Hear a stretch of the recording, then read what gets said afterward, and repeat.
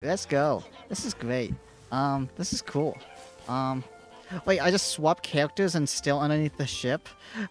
Where are my primos? I need compensation. I'm watching my favorite characters drown and Sayu's falling through the world and I'm gonna need more than a 10 pull as compensation for this one. Holy cow.